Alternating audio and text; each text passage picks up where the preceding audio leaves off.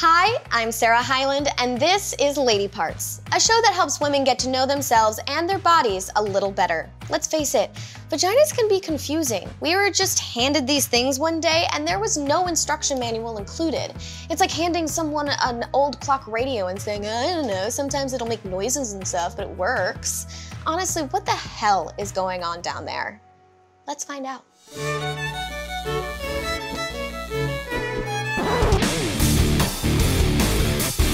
Here to discuss is our Lady Parts OBGYN, Dr. Sherry, and today's guests, rapper Saweetie and actress slash the real co-host, Adrienne Bailon Houghton. Hi, ladies. Hi, Hello. First things first, let's talk about getting to know your vagina. Do you ever look at your vagina in the mirror?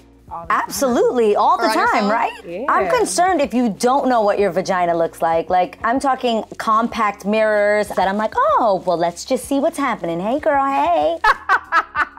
I remember when I got my first camera phone when I was 13 years old, my first cell phone, I immediately went to the bathroom to take a picture of my vagina so I knew what it would look like down Nice. there and then deleted it immediately. it's a lot of fun. So I have a fun game that I would like us to play where we draw our vaginas. Just, you know, the essence of your vagina. I can't even draw a stick figure. How Girl, can I'm I such a bad drawer as well. such a piece of art? While we're all drawing, what do you guys like the most about your vagina? Like, what trait is your favorite and such? She talks a lot. She talks a lot.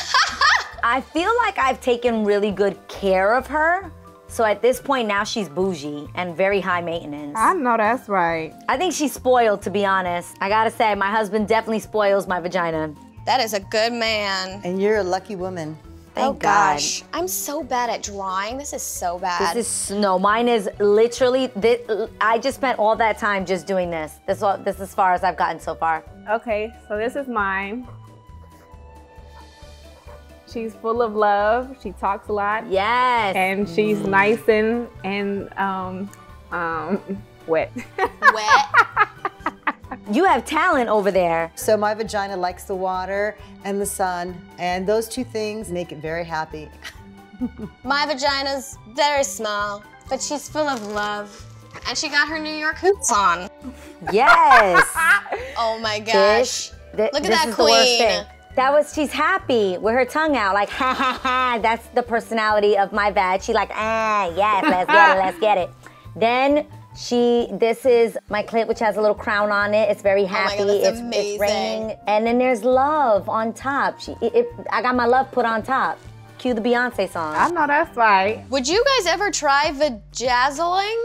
I've never heard or tried that. I want to see what that looks like. You remember how people used to bedazzle bandanas? Uh-huh. It's pretty much that in any decoration that you want, but down there. Well, you know I'm an icy girl, so I, I love to see it icy down there. And it lasts. Like, I guess it has the adhesive is on some other level, so it lasts. Like, it'll stay throughout your showers and it lasts for like maybe a week. Dr. Sherry, do you think it's safe to vajazzle your vagina? Absolutely. You have to go to someone that knows what they're doing. A good vajazzle on, let's say, on Valentine's Day could be a nice, sweet treat. Oh, Dr. Sherry. Ooh. Mm-hmm. What do you guys think about vajacials and have you ever gotten one? I have never. I've- I've been looking for a vajacialist. I think it's really important, especially for girls who have, you know, curly hair like me. Saweetie, I know what you're talking about. If you're shaving and the ingrown hairs, and then people pick the ingrown hairs, then you end up getting scarring and dark spots, hyperpigmentation.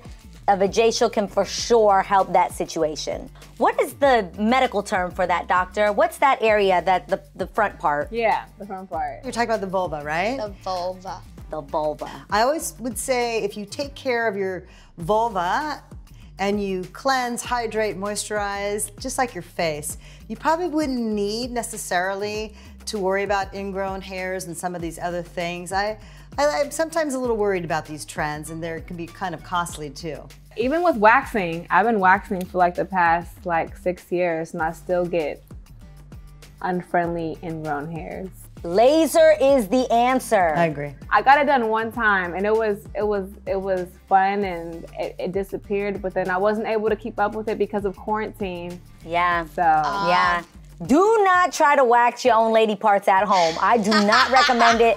Back in the day, I will never forget, I got one of those Sally Hansen microwavable Brazilian wax kit. I laid one area. It's one of those that didn't need the paper. Like it hardens as soon as you put it on. Yo, when I tell you it was time to now rip it out, I ripped one time and could not do the rest. I sat in my bathroom on the floor and was like, whoo, girl, whoo, you could do this. You, I couldn't inflict the pain on myself. I couldn't do it. Just like hard waxed hoo-haws on the bathroom floor. And once it's on, you have no choice but to pull. Do not do that to yourself. Dr. Sherry, can you please give us a Kegel routine to perform right now? The easiest way to identify your Kegels is while you're peeing, you, you start the flow, you hold it for three to five seconds, one 1,000, two 1,000, let the flow go a little more, hold it three to five seconds, and you ideally want to do, you know, five reps of 10. You want to do 50 a day. That's going to be the best thing, and you can do them. Like you said, Sarah's doing it, I'm doing it. We're probably all could do it. We could do 10 reps right now. I feel like my shoulders come up when I do it. Like I look stiff.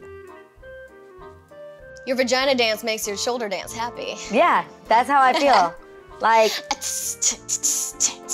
Ah, okay. you feel it, you feel it. Get some Fosse in there.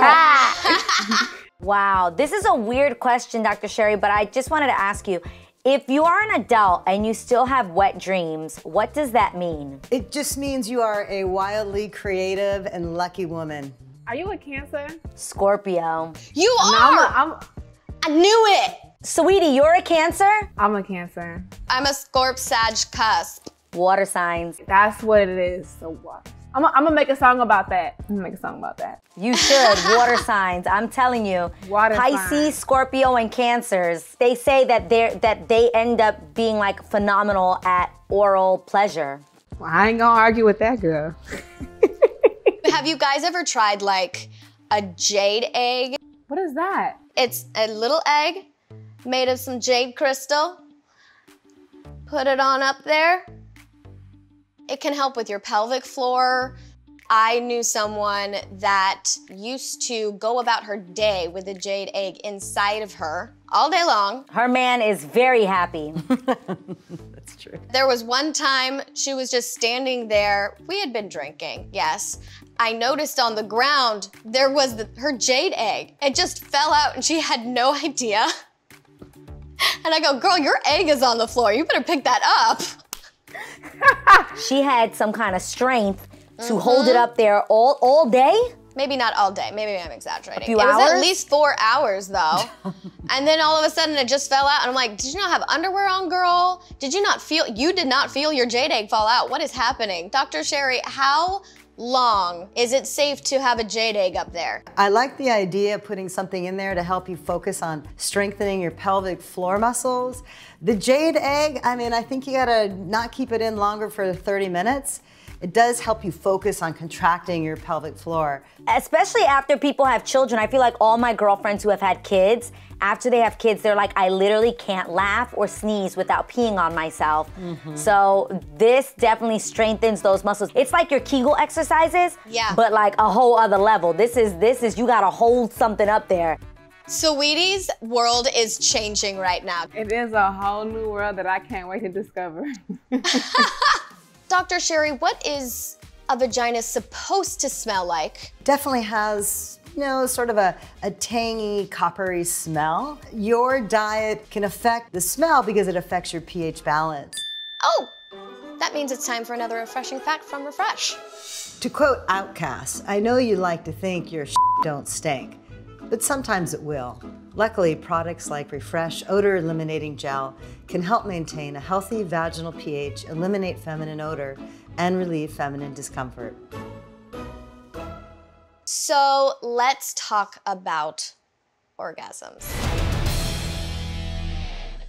What do you think about orgasms? Have you ever faked an orgasm? I think when I was younger, definitely wasn't having orgasms off of penetration. And I think it depends on the guy's, um, the curvature, Yes. so to speak. Great word. Because, yes, you get what I'm saying? There are the ones that are like curved and they go tap, they tap, tap, tap in. You know what I'm saying? and when they tap, tap, tap in, then it happens. Yeah. And I did not know that that even could happen. So that has been an amazing discovery. I think it depends on the curvature for me for the penis to find the inside G spot. I wasn't that active when I was younger, but as I got older, I remember like the second person that I was with, I was like, wow, they all don't look the same. Shocking, right? I'm like, hey, what's going on? Oh my gosh. What are the chances that on any given day if, for you to orgasm, do you think it's like a 10 out of 10, 6 out of 10? I feel like I'm grateful for foreplay. And I think that when Yes. you have somebody that really enjoys foreplay and that's how they get turned on is foreplay and watching them please you. In my marriage, for the most part, it is, I would say, a 9 out of 10, which is pretty Yes, damn girl. good. I have go to thoughts. Oh, nice. Saweetie, you have go to thoughts, like things you, you think about? You got that backlog. yes, girl. Um, I would say I'm definitely, um, I have a cheat code, so I would say a 10 out of a 10. A cheat code. Yes, girl. I'm a very extracurricular activity type of person, so there's always some type of assistance helping me get to where I need to go. I love Are you talking about a vibrator? I hope it's a vibrator. and what's crazy is I discovered these this thing because I remember I was dating someone and we had broke up and I'm just very like selective. So I was like celibate for a really long time and I'm just like, what am I going to do? And that's how I discovered, you know, certain stores that, you know, fulfill your needs. Yes. but I love that you were celibate and that you took that time to discover yourself, you know? Yes. That's that's so important. as I got older and you know, I'm in a relationship right now and I feel like when you're grown and you're mature, you are able to tell your partner what you need and they're able to tell you what they need. Always communicate no matter what. Thank you so much, guys. This was a lot of fun talking to you about our Fosse Kegel dance numbers. Yes. Um, thank you so much for joining us. I'm so happy to have you. And Dr. Sherry, thank you so much for filling us in on all of your amazing vaginal insight. It's awesome. Thank you. Thank you. Nice meeting you. Thanks for joining us. Remember to tune in next week for the show's literal climax. It's an episode about female erogenous zones.